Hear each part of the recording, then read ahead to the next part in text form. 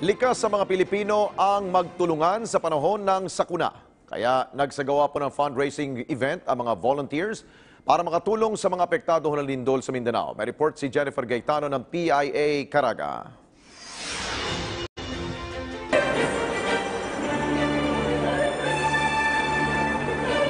Nagsama-sama ang mga volunteer mula sa iba't ibang sektor para mag-fundraising at tumulong sa mga kababayan nating biktima ng lindol sa Cotabato City. Ito ay kanilang tinawag na Mindanawan Kita.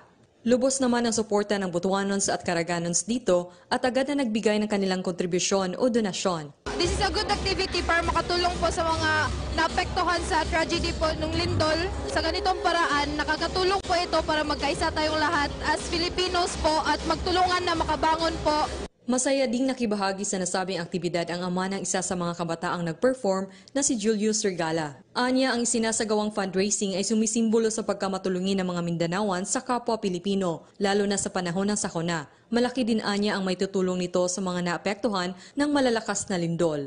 kalipay na ako nga ning suporta niini nga pinaagi sa talentos kung anak makatabang pod sa pag fundraising nga madala nato ngadto ang tabang sa mga tao nga napiktuhan gyud sa dako kayong kalamidad Samantala, pinasalamatan naman ni Odette Andaya, isa sa volunteers na siyang nag-organisa sa nasabing aktibidad, ang iba't ibang organisasyong nagbigay din ng kanilang donasyon. Tutulong din anya ang isang pribadong universidad sa lungsod sa pagpapadala ng mga donasyong ito sa Cotabato City. Mindanawan Kita movement of um, concerned people.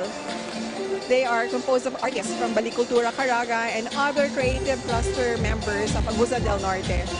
Now, we thought of, of having, convening everybody with their talents so that we can showcase them, but at the same time encourage the people, the audience, to give a little of something for our earthquake victims.